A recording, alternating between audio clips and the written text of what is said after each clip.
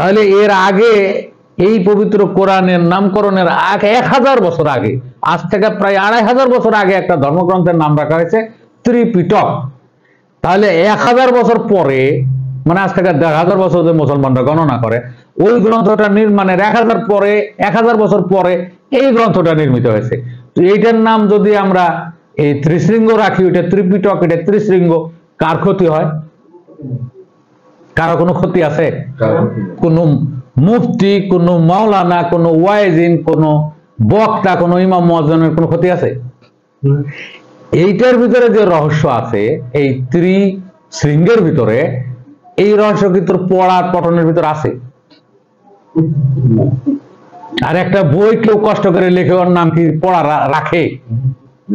আমি যে বইগুলো লিখছি একটা বইয়ের নাম আত্মতত্ত্বভেদ একটা নাম পরম্পরা তত্ত্বভেদ একটা আত্মার সৃষ্টি রহস্য লালন রহস্যভেদ সমগ্র হ্যাঁ? এই যে এই- আমার এই বইটা অনেকে চোখে দেখছে এই বইটা প্রকাশ হওয়ার পর পরে বইটা বলে শেষ হয়েছে। বইটা শেষ হওয়ার পরে নাই এই বইটা আমরা বই মেলায় যাই এক পিসি পাইছি এক পিসি ছিল এক পিসি দিয়ে আসছি। এই যে। এই বইটার নাম হলো লালন রহস্যভেদ সমগ্র দেখা যায়? লালন রহস্যভেদ সমগ্র। হ্যাঁ?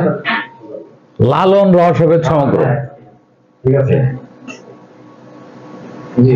এক পিসি ছিল আর ছাপা নাই আবার ছাপান লাগবে এরপরে। তো এই বইটার নাম আমরা রাখছি লালন রহস্যভেদ সমগ্র। বইটার নাম পড়া হতে পারে। বিশ্ববিখ্যাত একটা বই আর বইটার নাম রাখল পড়া। খুবই দুঃখের বিষয়। এটা তো হতেই পারে না। তখন যখন আমরা পেলাম যে পবিত্র কোরআন মাজিদের উৎপত্তি মূল বা উৎসমূল হলো কারণ। যখন এটা পেলাম, এখন এটা ত্রিশৃঙ্গ, এখন ত্রি দ্বারা কি কি হয়? ত্রি দ্বারা সত্তরজ তম রসে, এরকম একটা বাণী আছে। অর্থাৎ ওই রজ সুধা মধু লালন সাইজের বাণী, ত্রিবেণীর ত্রিয় ধারে মিন রূপে সাই বিহার করে। এলো তো। এখন যেতে পথে কাম নদীতে, পাড়ি দিতে ত্রিবিনে এই যে তিন দ্বারা সব চলে আসছে না? এখন মানব জীবনের মূল রহস্য এই তিনটার সঙ্গে ইনক্লুডেড যেমন রজ ছাড়া কোনো প্রাণী সৃষ্টি হবে না। যৌনজ প্রাণী সৃষ্টি হবে না। এটা কাণ্ডজ হইতে পারে যেমন উদ্ভিদ হইতে পারে কোনো প্রাণী হবে না। এক কোষে প্রাণী আমি বা ব্যাকটেরিয়া বাদে। সকল প্রাণীর এই রজ আসা লাগবে। এরপরে বাচ্চা যখন কনসেপ্ট হবে ওই বাচ্চাটাকে লালন পালন করার জন্য ডিম্বোজ হলে ডিমের বিজলা আর যদি ডিম্বোজ না হয় স্তন্যপায়ী হয় তা মাতৃ জঠরের সে জলটা এটা তো লাগবেই। না হলে কি বাচ্চা জায়গায় থাকতে পারবে? কেউ কারও বংশ বিস্তার হবে কোনো জাতির বা প্রাণীর? তাহলে রজ লাগবে ওই পালন কর্তাটা লাগবে। আর রজ যে সৃষ্টি করবে তাহলে সৃষ্টিকর্তা। এই তিনটা ছাড়া তো সৃষ্টি হবে না। আর এই তিনটাকেই বলা হয়েছে বাহ, জটিল রহস্য না। মানুষের জীবন রহস্যটা এখানে জড়িত না। এই যে মূল্যবান উপকারী এই ত্রিশৃঙ্গ নামটা বাদে পবিত্র কোরআনের অর্থটা এখন পর্যন্ত প্রচার করা হচ্ছে পড়া পঠন। এইটার গভীরতা কত আর ওইটা কত ঠুনকো? কম্পারেটিভলি বুঝা এটা আমি বুঝাতে পারছি কি সবাই রে এই গেল দ্বিতীয় গলত। তৃতীয় গলতটা আসছে তাদের প্রধান স্তম্ভ হলো সলাৎ। এটাই চেনে।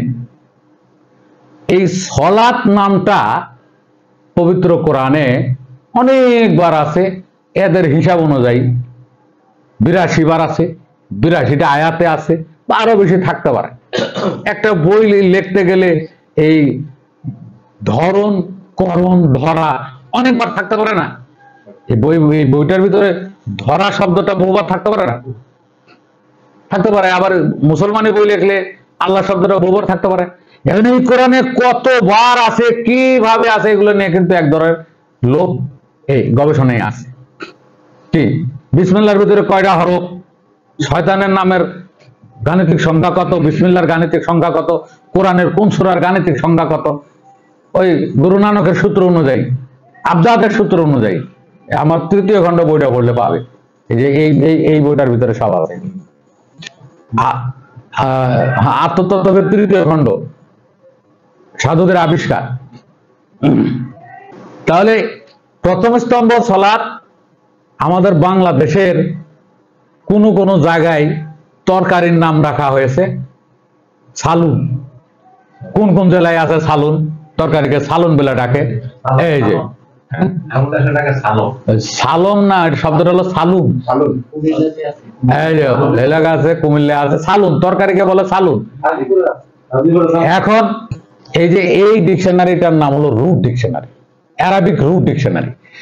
Arabic root ডিকশনারির মধ্যে সলাদ শব্দের অনেকগুলো মাদ্দা বা আমরা বলি অভিধা আছে। অনেকগুলো অভিধা আছে একটা অভিধা শব্দে একটা অভিধায় আছে। যে সলাতের আরবি to English ডিকশনারিটা to be to roast to be hot to make hot to burn এই শব্দগুলো ব্যবহার করা আছে। অর্থাৎ গরম করা, উত্তপ্ত করা, ভাজা, রান্না করা কি? পুরানো। সালাদ শব্দের অর্থ কি? ভাজা, রান্না করা, পুরানো, গরম করা, এইগুলা।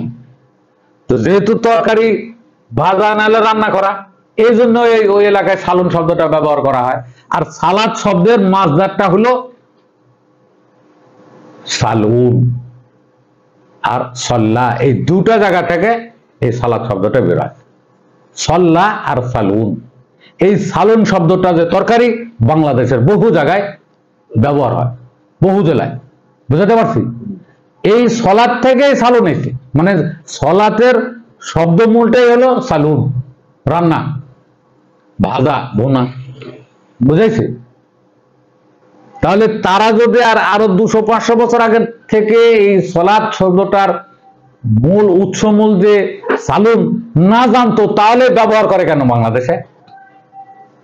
জেনে শুনে তো ব্যবহার করে। তাই না? তাহলে ওই শব্দটা আরবদের হলেও আরবিতে হলেও বাংলাদেশের তরকারির নাম কি? বাংলা ভাষায়? ব্যঞ্জন। ব্যঞ্জন মানে বাংলা ভাষায় তরকারি। কিন্তু ব্যঞ্জন না বলে সালন বলে কেন? এটা ভাজা, ভুনা করা, রান্না করা, গরম করা, তাই তো? এর পাঁচটা স্তম্ভের ভিতরে নামাজটা ছিল। সেই নামাজ আরবি শব্দ না। আরবি শব্দ ছিল সলাদ সলাদটাকে ওরা নামাজে নিয়ে এসে নামাজ শব্দের অর্থ এরা বলছে যে কল্যাণ, মঙ্গল, উপাসনা, আরাধনা এগুলো লিখছে বরকত এগুলো লিখছে। বাংলাদেশের যত ডিকশনারি আছে আসলে সলাদ শব্দের অর্থ তাপত সেটা আমি আগে বলে নিছি। এখন প্রচলিত নামাজ পবিত্র কোরআনের সালাতের সাথে কতটুকু সামঞ্জস্য? এক অংশও না শতকরা এক ভাগও না। তা কি হলো এটা? আর এই নামাজ না পড়লে বেত্রাঘাত সৌদি আরবে এই নামাজ না পড়লে জরিমানা এই নামাজ না পড়লে Thanks for watching. Lots of.